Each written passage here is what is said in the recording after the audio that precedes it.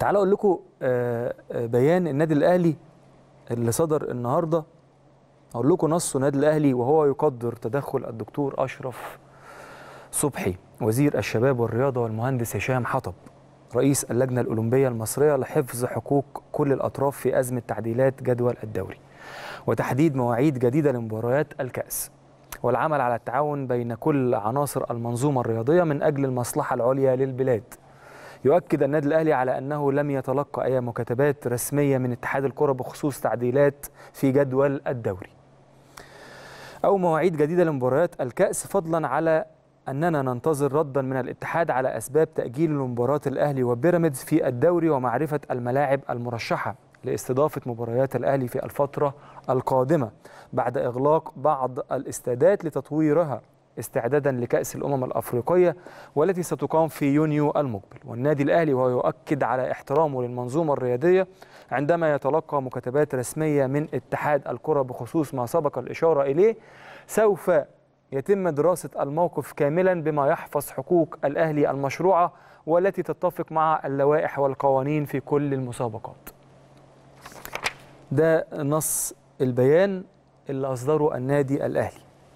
ملخصه إن النادي الأهلي بيحترم كل عناصر المنظومة الرياضية بيحترم الدكتور أشرف صبحي وزير الرياضة والمهندس هشام حطب رئيس اللجنة الأولمبية بيحترم كل الأطراف في المنظومة الرياضية. ده نص أو ملخص البيان.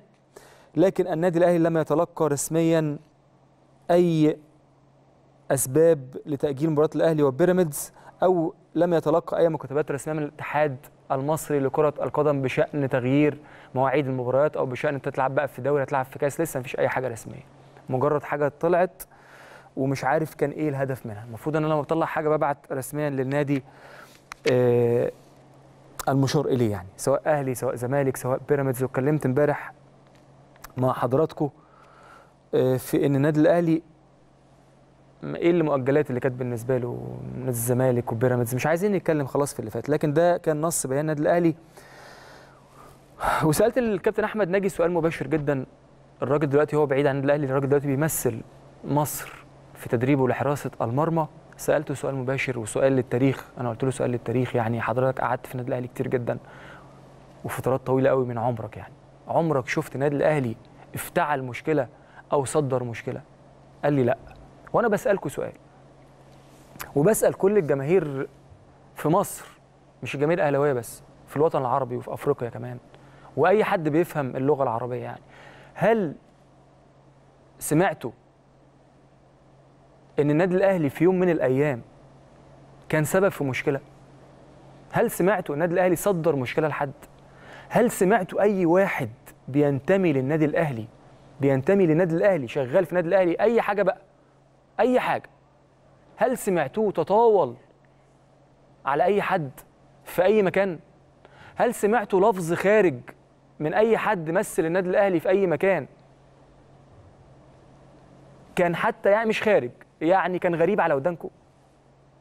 جاوبوني. جاوبوني وعندنا كل حاجة موثقة.